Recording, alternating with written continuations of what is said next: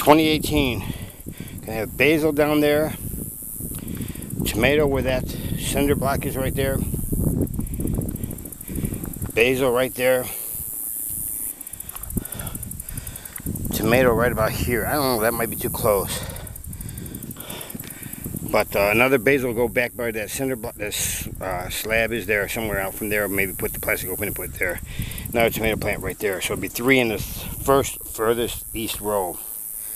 Skip a row. Then you might have a tomato plant there. Uh, I might make a hole somewhere in here for another tomato plant for two. And the third one I have to make a hole right about here. So it'll be even with that first one there with that cinder block. Okay, so that'll be six tomato plants. Basil on the corner, right there, and on the corner back there. And then we're gonna space, I wanna space it out, I'd like to space it out about four to five in the back, and there maybe six even, basil. Purple, green, purple, green. Up here, we'll see what we do with these. But we'll have at least six tomato plants, and one, two, three, three, maybe even four basil down the, the east wall of number three. This is number three, that's number two back there. That's gonna get plastic out after it's tilled up.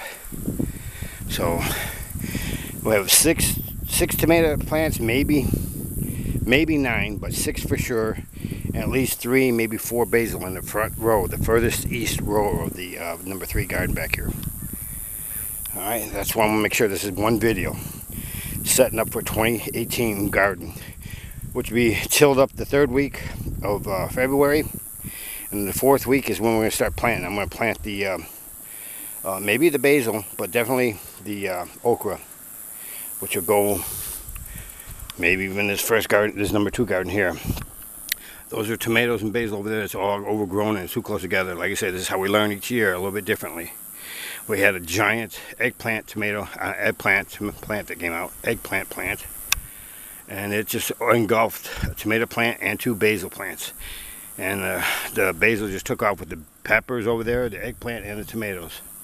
So peppers are going to be two that we're going to have them spread out about two. Might put them in the middle here.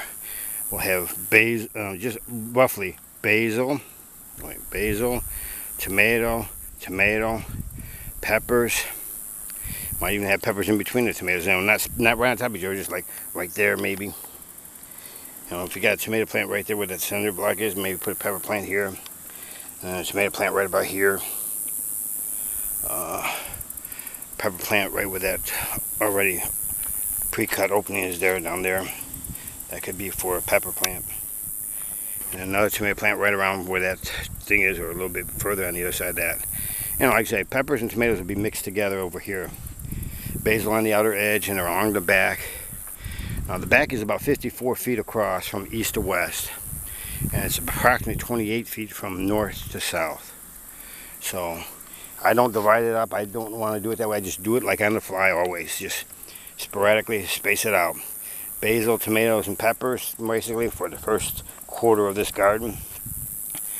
Uh, the beans are going to go in number one and two somehow or another. We're going to split those up because, I mean, they, they all took off. We got to put those out in uh, late February into early March. Okay, because now look at how they're, they're flourishing. They're real thick, you know, but uh, I don't have them all set out right. I had the fences backwards at the beginning of the year, and I reversed them finally, but, you know, of course, it tears up into the plant itself. So these diseased trees out front here, brown spot on all of them, and uh, that's just right, right wreaking havoc, havoc on this garden you know this is heirloom man these are no chemicals no anything you know except baking soda and water maybe or dishwashing liquid and water and that's it but it's wreaking them diseased trees are messing up this garden if I had the netting if I had the money I'd have the netting to put about a four foot put stakes around the whole garden and put like a netting across the top so the leaves don't fall on top of the plants or get inside. Because they get in the holes like right there. You know, where plants were growing at one time and those leaves rot and they get into the you know the soil they spread underneath here they get into the plant and like I said these were looking all healthy and it was just water I water them they all come back and I'll look again with all these diseased leaves all around them here see I'm not dumb. I'm just telling you that's what seems to be affecting this. Because you know there's there's one of those uh,